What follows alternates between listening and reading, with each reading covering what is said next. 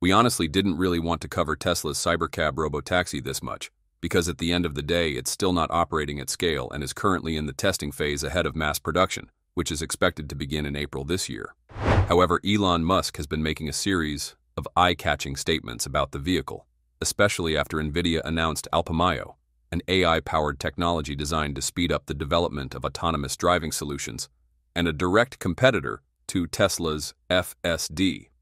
On top of that, the Cybercab has now been spotted on highways for the first time. Meanwhile, a more intense issue involving the Cybercab has just surfaced. Tesla has run into trouble trying to trademark the name Cybercab. In a worst-case scenario, the new vehicle may no longer be called Robotaxi or Cybercab at all, and Elon Musk could be forced to come up with a completely new name. That's exactly why we're talking about Cybercab today, so let's dive into the details right now.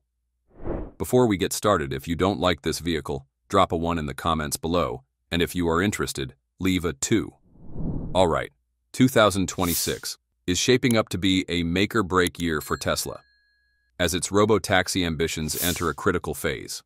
As Elon Musk said late last year, the Tesla robotaxi Cybercab will be the company's second biggest product this year, and Tesla is putting a huge amount of focus on it. The increasing number of Cybercab test vehicles showing up in Austin and San Francisco is clear proof that Tesla is ramping things up. The real breakthrough isn't the number of cars, it's the move toward completely removing human supervision. Tesla is aiming for mass production in April 2026 using an ultra-high-speed production line with vehicles that have no steering wheel and no pedals. Practical steps, like in-car cleanliness penalty policies, also show that Tesla is already thinking through even the smallest details of real-world commercial operations. Even though Tesla's fleet is still relatively small compared to Waymo, its core advantage lies in building its own vehicles and optimizing hardware costs. Elon Musk believes that keeping human safety supervisors is the biggest barrier to scaling. Once that barrier is removed, Tesla could roll out thousands of vehicles in a very short amount of time. Recently, Elon Musk even claimed that competitors would need many years to catch up to Tesla's self-driving technology.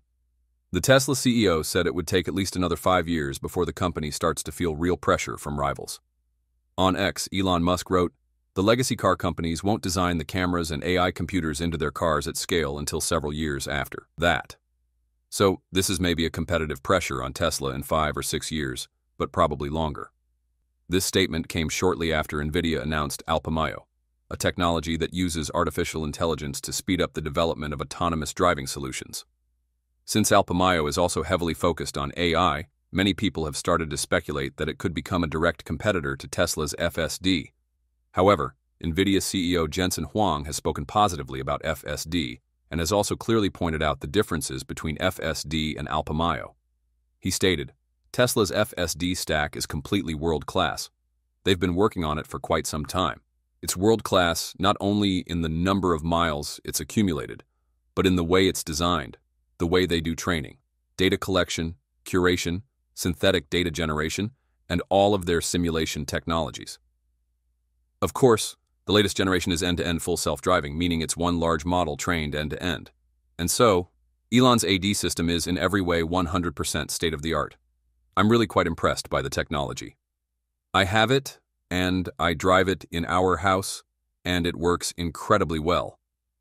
Alongside the praise and recognition for Tesla, Jensen Huang also pointed out that NVIDIA's Alpamayo is built on a completely different philosophy compared to Tesla.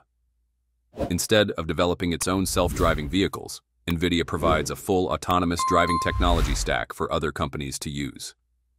He said, NVIDIA doesn't build self-driving cars. We build the full stack so others can, Huang said, explaining that NVIDIA provides separate systems for training, simulation, and in-vehicle computing, all supported by shared software. The NVIDIA CEO also added that customers can use the platform as much or as little as they need.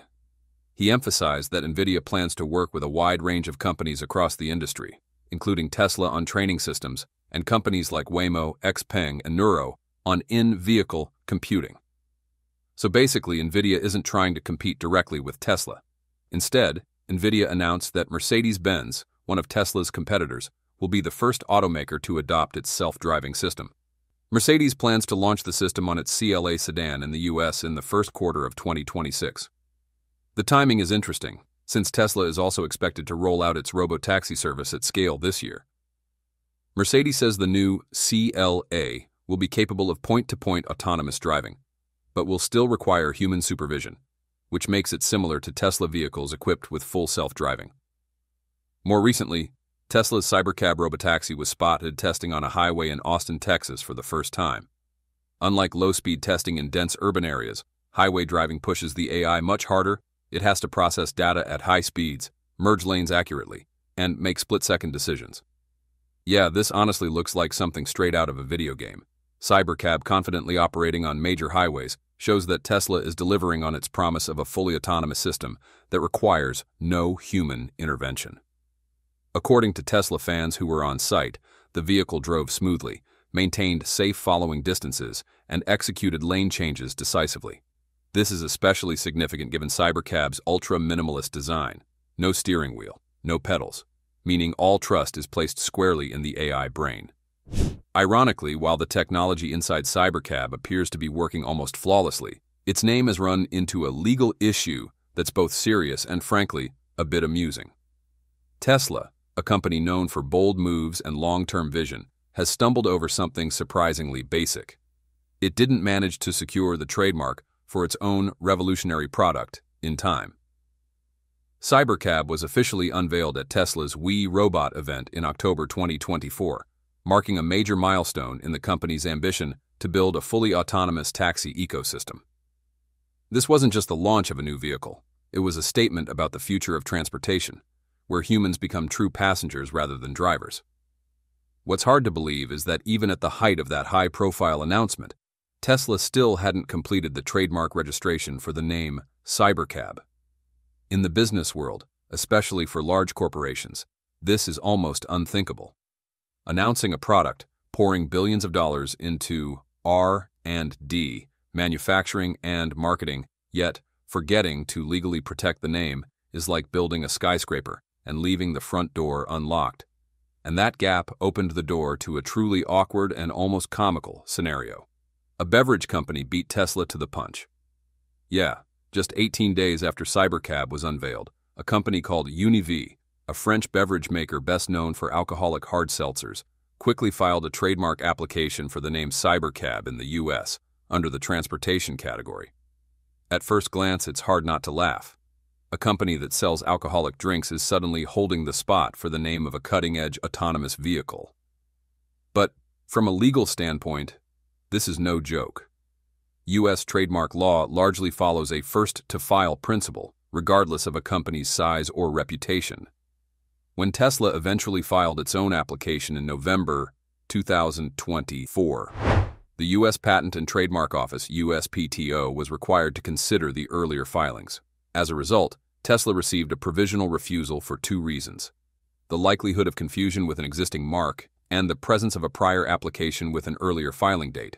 On the surface, the story feels almost like a legal sitcom. But for Tesla, the stakes are very real. Cybercab isn't just a name, it's a brand tied directly to Tesla's long-term strategy, its technological identity, and investor confidence. Losing the ability to exclusively use or protect that name could trigger a domino effect. Increased risk of brand copycats, challenges in global marketing, and potentially long, expensive legal battles down the road. What surprised many people even more is that this isn't the first time Unibev has crossed paths with Tesla. The company previously held a trademark related to Tesla tequila, which caused similar headaches for Tesla when it launched its own beverage. To a lot of observers, this looks less like coincidence and more like a deliberate trademark holding strategy. Given the situation, we see Tesla as having two realistic options either negotiate and pay Unibev to withdraw the application, or take the case to court and argue that a beverage company with no real intent to build vehicles shouldn't be allowed to own the Cybercab trademark. That said, knowing Elon Musk's usual playbook, Tesla is far more likely to choose the second route. You know, Tesla isn't exactly known for compromising easily, especially when it comes to matters of principle.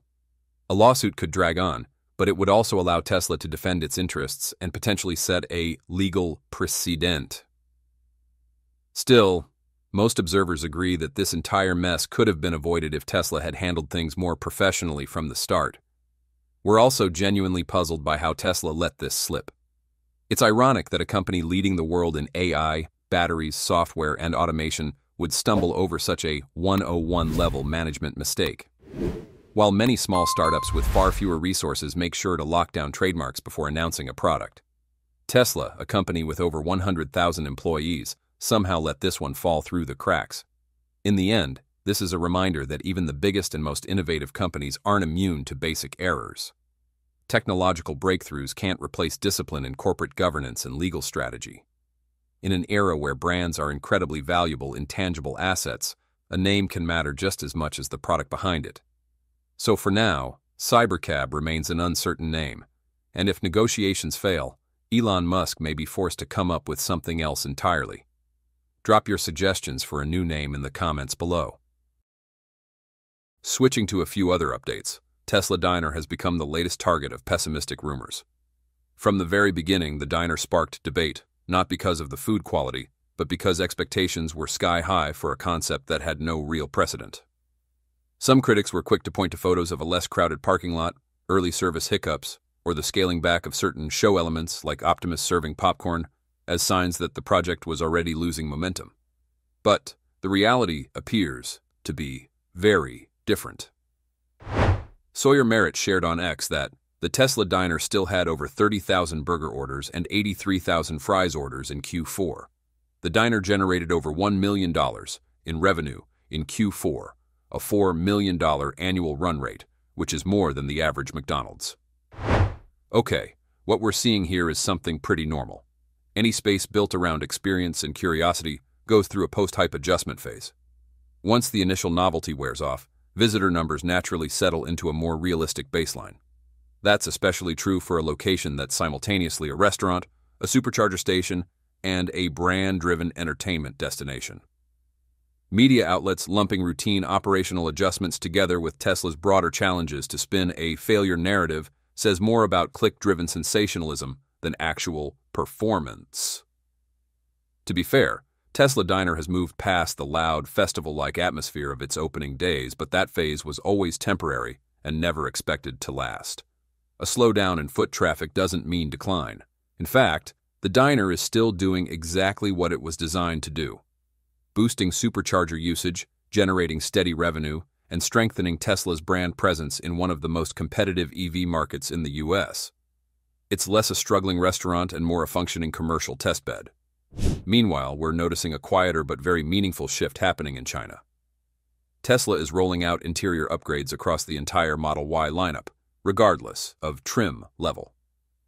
Features that were previously exclusive to higher-end versions like Performance or Model YL are now making their way into standard and premium trims, a clear signal that Tesla is redefining what base model really means.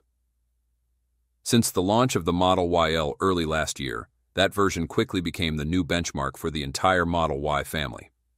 With its longer wheelbase, improved materials, and noticeably better interior experience, the YL unintentionally raised an uncomfortable question. Why don't the other versions meet the same standard? Now Tesla seems to be answering that question through action, gradually pulling the standard models closer to the peak they themselves established. As a result, the once clear hierarchy within China's Model Y lineup is starting to blur. Buyers of the rear-wheel drive version, traditionally seen as the entry-level option, now step into a cabin that feels remarkably similar to the most expensive variant. Visually, in terms of materials and overall spatial feel, the experience remains minimalist yet premium, perfectly aligned with the design philosophy Tesla has pursued since day one. The most noticeable change is right above the driver's head. The light gray headliner, long associated with lower trims and a detail that's been controversial for years, has officially been phased out. In its place is a black Alcantara-style finish that was previously reserved for performance models and so popular that many owners were willing to retrofit it aftermarket. Standardizing the headliner color not only makes the cabin feel more upscale, but also signals Tesla's push to simplify its production line. At the same time, the center display has been upgraded to match higher-end variants, Model Y standard and premium trims now come with a 16-inch touchscreen, replacing the previous 15.4-inch unit. On paper, That increase may seem minor, but from inside the car, the difference is immediately noticeable. The larger display area, slimmer bezels, and improved contrast and resolution make the entire interface feel cleaner, more modern, and noticeably more open. More importantly, using a single display across multiple trims isn't just about aesthetics. It reflects Tesla's broader manufacturing philosophy, maximum standardization, fewer unique parts, and greater supply chain efficiency. We wouldn't be surprised if this screen design shows up in future Model 3 updates as part of a wider strategy to unify Tesla's entire product lineup. For now, these upgrades are limited to vehicles rolling out of Giga Shanghai. But if Tesla's past behavior is any indication, this is rarely the final stop. The Shanghai factory often serves as a manufacturing test lab, where changes are trialed before being rolled out to Giga Berlin and Giga Texas. As Tesla continues to prioritize efficiency across costs, supply chains, and perceived product value, phasing out older components in favor of a new interior standard makes strategic sense. Once existing parts inventories are exhausted, these upgrades are likely to become global defaults, allowing Tesla to both streamline production and stay competitive in an increasingly cutthroat EV market. Recently, Elon Musk made waves again by talking about the Tesla Roadster with a shockingly blunt statement. Safety is not the primary goal. He went on to say, if safety is your number one priority, don't buy the Roadster, a comment that immediately reignited hype around the long-awaited car. The remark wasn't just bold marketing, it revealed Musk's fundamentally different mindset toward a sports car that's been anticipated for nearly a decade. At a time when Tesla is rapidly pivoting toward robo-taxis and full autonomy, Musk wants to position the Roadster as a kind of final legacy car. He compares it to legendary supercar brands like Ferrari, where buyers prioritize excitement and performance over practical safety features. According to Musk, the Roadster will be the best of the last cars driven by humans. That line suggests that even as the world moves toward automation, Tesla intends to preserve a pure, high-performance machine for those who crave full control behind the wheel. Musk has now officially confirmed that Tesla is targeting a product demo on April 1, 2026. He joked that choosing April Fool's Day gives him plausible deniability if the event gets delayed again. Still, he insists this will be the most insane demo Tesla has ever done. The Tesla CEO describes the Roadster as a mashup of every James Bond car ever made, packed with technology that goes far beyond today's automotive norms. The biggest highlight remains the SpaceX collaboration package. Musk continues to promise a 0 to 60 miles per hour time of under one second. To hit that almost physics-defying number, the car would use cold gas thrusters. When asked whether the car could actually fly, Elon Musk hinted at the possibility, only adding more fuel to the excitement among fans. Even though the public debut is expected in early 2026, Musk also noted that mass production would begin roughly 12 to 18 months later. That means the first customers, many of whom put down deposits of hundreds of thousands of dollars back in 2017, may not actually get their hands on the steering wheel until 2027. Thanks for watching. If you enjoyed this deep dive into Cybercab, hit like, subscribe for more Tesla updates, and let us know your thoughts in the comments below right now today.